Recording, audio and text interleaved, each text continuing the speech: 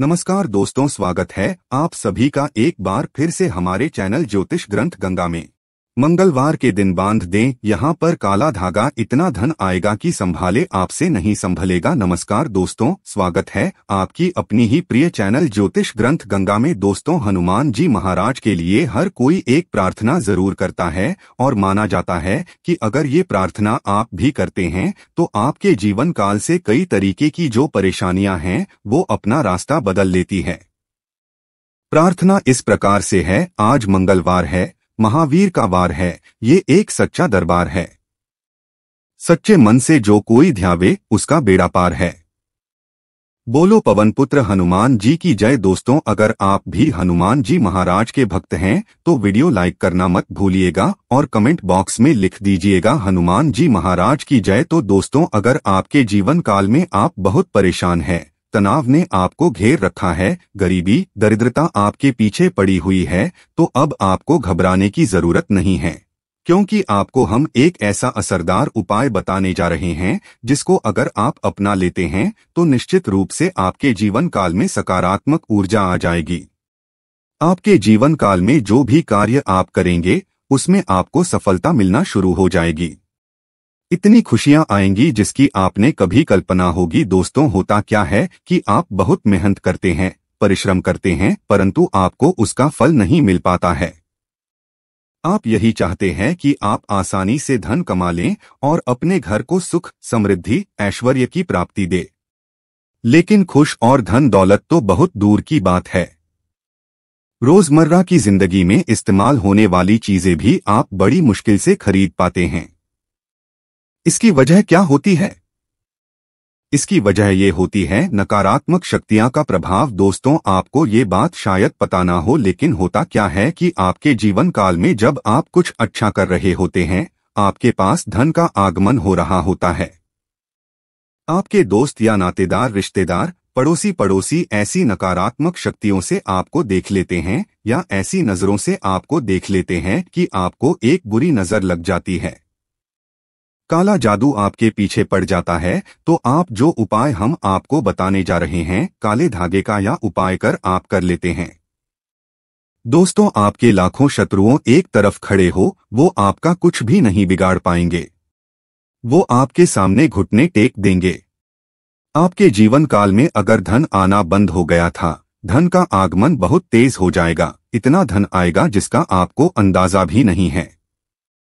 आपका जो दुर्भाग्य है, वो भाग्य में बदल जाएगा, और सबसे ज़रूरी चीज़ दोस्तों, अगर आपके घर में कोई ऐसा व्यक्ति है, जिसको कोई रोग लगा हुआ है, जिसका आप इलाज करा करके थक गए हैं, परंतु उसका कोई लाभ आपको नहीं मिल रहा है तो दोस्तों यकीन मानिए, काले धागे का एक ऐसा उपाय है, जिसको अगर आपने सिर्फ़ सही तरीके की साधना से कर लिया तो कितना ही बड़ा रोग हो, वो चुटकियों में खत्म हो जाएगा। आप ये उपाय करके देख लीजिए, अगर नहीं ठीक होता है तो आप आकर हमारे चैनल को अनसब्सक्राइब कर दीजिएगा, क्योंकि दोस्तों, ये जीतने भी आपको उपाय बताए जा रहे हैं। ये लोग कर चुके हैं, और लोगों ने बताया कि उसको इनका रिज़ल्ट मिला है तो इसलिए इस वीडियो को आप लोग अपने अपने पूरे परिवार के भले के लिए देख लीजिए। लास्ट तक, अंत तक समय निकाल करके देख लीजिए, और यकीनन आपके जीवन में एक ऐसा बदलाव आने जा रहा है। जिसका आपको अंदाज़ा भी नहीं है, जिसकी आपने कभी कल्पना नहीं की होगी। दोस्तों, अब बहुत ध्यान दीजिएगा जो हम आपको बताने जा रहे हैं। पहले आपके पास धन आ रहा था, फिर धन आना बंद हो गया था। इसके कई कारण हो सकते हैं। जैसे या तो आपके घर पर नकारात्मक शक्तियाँ हैं, या तो आपके घर पर रोज लड़ाई, झगड़ा, कलश होता है। आपके घर का वातावरण अच्छा नहीं है या आपके घर में कुछ ऐसी चीज़ें हैं जिसके वजह से आपके घर को दोष लगा हुआ है। तो दोस्तों, काले धागे के उपाय से आप इन तरीके की दिक्कतों से छुट्टी पा सकते हैं। आप मान लीजिए आपके पास जो धन नहीं आ रहा था, उसको वापस लाने के लिए या धन जो आता है, वो टिका रहे। इसके लिए भी काले धागे का एक उपाय बताया गया है। बस आपको सही तरीके की साधना सही दिन पर करनी है और ये सारे उपाय जो भी हम आपको रहे हैं, यहाँ मंगलवार को आपको करने होंगे।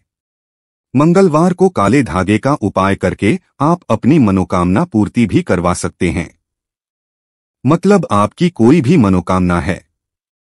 संतान प्राप्ति, नौकरी प्राप्ति व्यापार को दौड़ाने के लिए, नौकरी में प्रमोशन पाने के लिए या कोई भी आपकी मनोकामना ए टू जेड कोई भी मनोकामना है, वह ज़रूर पूरी होगी, लेकिन आपको काले धागे का सही तरीके से प्रयोग करना होगा।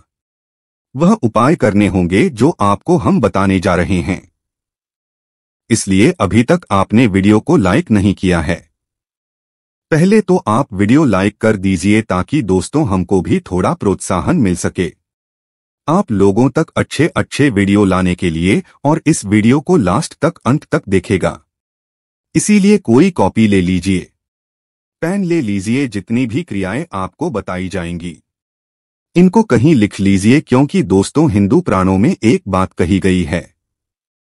आप अगर तांत्रिक के पास जाएँगे, किसी शास्त्री के पास जाएँगे, किसी एस्ट्रोलॉजर के पास जाएँगे और उससे कहेंगे कि हमारे लिए पूजा कर दो तो वो पूजा आपके लिए कर देगा, लेकिन आपको उसका जो फल मिलेगा वो थोड़ा रुक रुक के मिलेगा और समय के बाद मिलेगा। लेकिन अगर आप किसी पूजा को किसी साधना को सिद्ध कर देते हैं और विशेष दिन पर सिद्ध कर देते हैं तो निश्चित रूप से आपको उसका फल मिल जाएगा।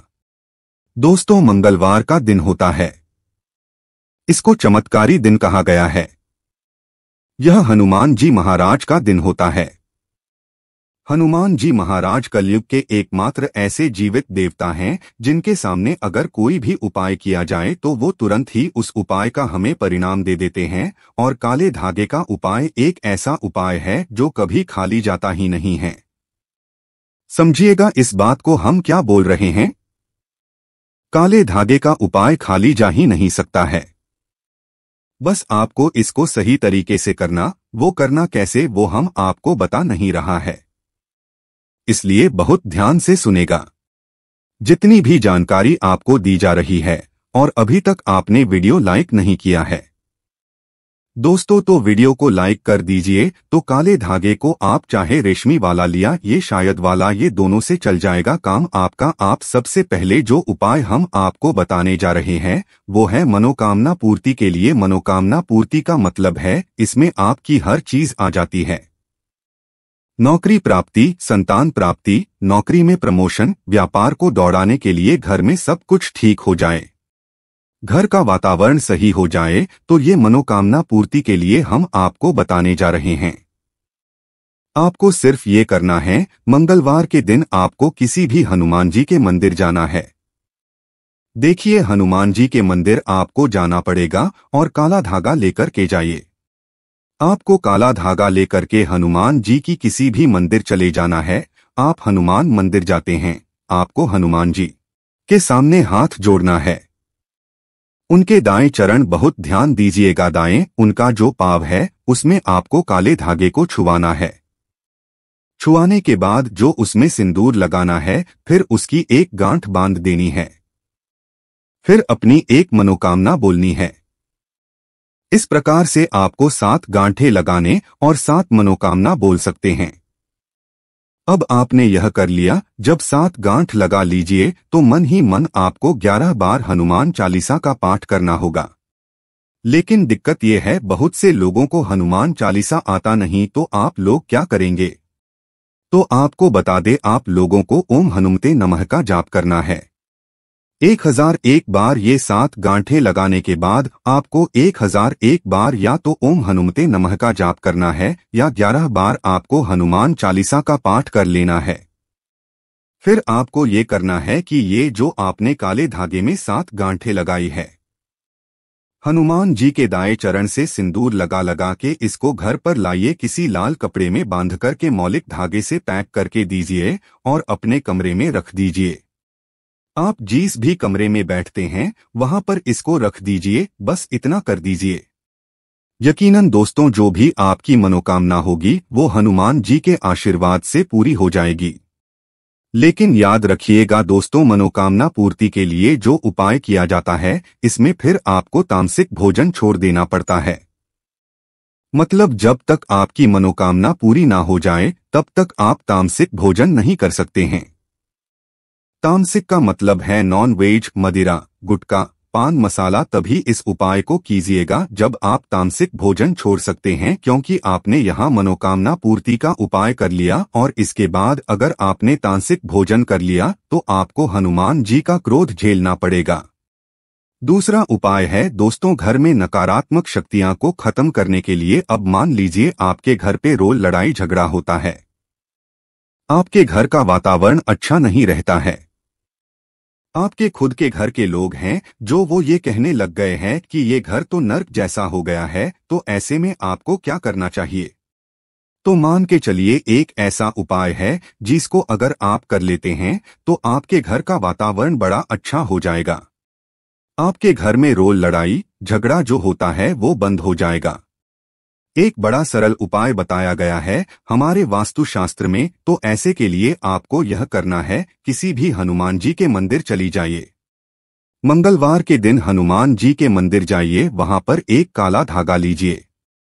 काले धागे में सिर्फ़ एक गांठ लगाकर के हनुमान जी के दाएँ चरण में छुआ दीजिए, जो सिंदूर है, और इसको किसी भी लाल पोटली में रख के मौली धागे से बाँध दीजिए, घर पे वापस आइए, इसी लाल कपड़े को आपको बाँध देना है। अपने घर के मुख्य द्वार पर यकीन मानिए दोस्तों, सिर्फ़ एक मंगलवार अगर यह प्रक्रिया साधना कर लेते हैं तो आपके घर से नकारात्मक शक्तियाँ चली जाती हैं। किसी ने अगर आपके कार्य पर काला जादू, काला मंत्र, काली विद्या कुछ इस तरीके का कराया था, वो हमेशा हमेशा के लिए खत्म हो जाता है। दो उपाय हम बता चुके हैं, तीसरा उपाय जो हमको आपको बताने जा रहे हैं। ये एक ऐसा उपाय है जिसको अगर आप लोग कर लेते हैं तो दोस्तों यकीनन यकीनन दोस्तों आपकी नौकरी लग जाएगी। आप मान के चलिए आप नौकरी के लिए बहुत प्रयास कर चुके हैं। टूट चुके हैं नौकरी का प्रयास के चक्कर में तो हम ये नहीं कह रहे हैं कि आप नौकरी की तैयारी नहीं कर रहे हैं तो आपकी नौकरी लग जाए। हम ये कह रहे हैं, नौकरी की तैयारी कर रहे थे, नौकरी नहीं लग पा रही थी तो नौकरी लग जाएगी। तो ये उपाय बहुत आसान सा है, लेकिन इसके लिए जो साधना आपको करनी है, वो बहुत ही कठिन साधना है तो करना ये आपको कि आपके काला धागा लेना है। हनुमान जी के मंदिर जाना है। हनुमान जी के मंदिर जाने के बाद आपको 21 बार हनुमान चालीसा का पाठ करना है। ध्यान रखिएगा 21 बार हनुमान चालीसा का पाठ करना है। आपको हनुमान चालीसा नहीं आता है तो 2001 बार ओम हनुमते नमः का जाप करना है। आपको ये काला धागा धारण कर लेना है। काला धागा हनुमान जी के दाएँ चरण में छुआ करके आपको धारण कर लेना, किसी पुजारी से बंधा लेंगे तो बहुत ही शुभ है। काले धागे को उदाहरण कर लीजिए। निश्चित रूप से दोस्तों, आपकी नौकरी ज़रूर लगेंगी, लेकिन ध्यान दीजिएगा। इसमें सबसे बड़ी बात यह है कि ये काला धागा धारण करने के बाद आप तामसिक भोजन नहीं खा सकते हैं। तामसिक मतलब जैसे आप लोग जा नहीं रहे हैं, शराब, मदिरा नॉन वेज नहीं खा सकते हैं और इस काले धागे को धारण करने के बाद आप नौकरी की तैयारी में लग जाइए। जो भी बाधाएँ आ रही थी आपके ऊपर वह बाधाएँ खत्म हो जाएगी। और दोस्तों ये जो उपाय हमने आपको बताया उपाय कई आईएएस, पीसीएस बड़े बड़े अफसर कर चुके हैं। दोस्तों ये जितनी भी आपको उपाय बताए जा रहे हैं ये ऐसे वैसे उपाय नहीं हैं। ये वास्तुशास्त्र से ढूंढे जाए उपाय बताया जा रहा है। आपको इसलिए दोस्तों इस वीडियो को लास्ट तक अंत तक देखेगा। और अभी तक आपने वीडियो लाइक नहीं किया है तो तुरंत ही वीडियो लाइक करके चैनल को सब्सक्राइब कर दीजिए। अब आपको जो हम उपाय बताने जा रहे हैं, वो उपाय से आपका राहु केतु बड़ा अच्छा हो जाएगा। आप सुनिएगा जो आपको उपाय बताने जा रहे, इससे पहले आपसे निवेदन था कि आपने वीडियो लाइक नहीं किया है।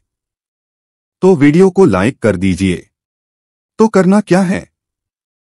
आपको काले धागे का एक बड़ा सा उपाय बताया गया है। हमारे हिंदू प्राणों में कि अगर आपके राहु केतु अच्छे नहीं हैं तो आपको सिर्फ़ यह करना है कि ये काला धागा लेना है। काला धागा लेने के बाद अपने घर की छत पर मंगलवार के दिन चले जाना है। सूर्यास्त के बाद एक पूर्व दिशा की तरफ़ आपको घी का दीपक जलाना है। आपको हनुमान चालीसा सात बार पढ़ना है और काला धागा जो होगा उसको किसी काली पोटली में डाल दीजिए। मौली धागे से बाँध दीजिए और अपने घर की छत पर रख दीजिए।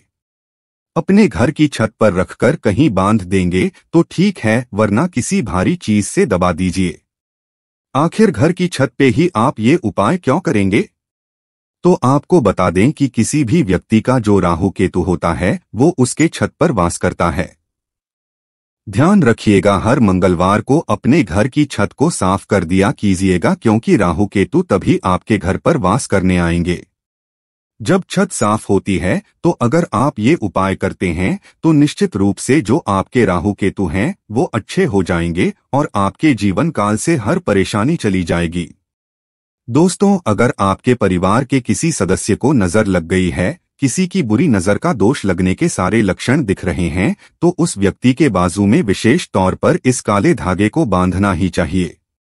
दोस्तों, वैसे तो ये उपाय तुरंत असर दिखाना शुरू कर देता है, लेकिन अगर आपको लगे कि इसके प्रभाव में कमी है ये उतना असर नहीं दे रहा है तो हर शनिवार को या मंगलवार को एक दिन आपको उसी काले धागे को मंदिर ले जाकर फिर से अभिमंत्रित करना है, और उस समय ओम शन शनैश्चराय नमः या ओम हनुमते नमः इस मंत्र का जाप करना है। दोस्तों, नकारात्मक चीज़ों का प्रभाव बहुत ज़्यादा होने पर इस तरह से धागे की फिर से शक्ति बढ़ाने का काम करना पड़ता है। अगर आप उस दिन मंदिर जा नहीं सकते हैं तो आप जब भी घर में धूप दीप करते हैं, तब उस धागे को दीप के ऊपर से सात बार घुमाकर मंत्र बोल देंगे तो उस धागे की शक्ति पुनर्जीवित हो जाएगी।